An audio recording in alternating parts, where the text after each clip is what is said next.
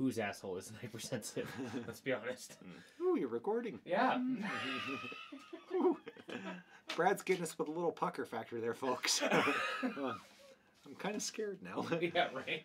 and you wonder why there's four batteries on the table.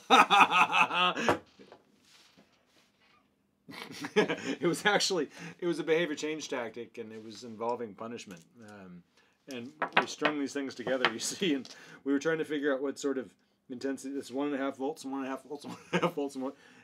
You can have a lot of fun if you put enough of them together. Let me just tell you, you can definitely change behavior. Now the irony is, is it might not even be punishing; it could be reinforcing, depending on your past history. Um, so, which gets us right into behavior change tactics: is any tactic that changes behavior. It's got to be technologically sound, right? It's not just random hooey hooey nooey willy nilly wobble bobble stuff. It's whatever it is that has an established history, um, scientific history. So the reinforcement stuff, the punishment stuff, the extinction stuff, the motivating operation stuff, the occasion setting event stuff, the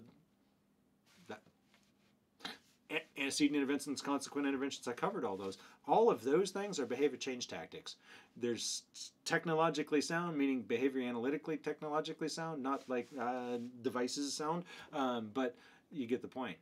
It's just tactics that you use to change behavior. I could keep talking about it, but it just goes in circles. Bye.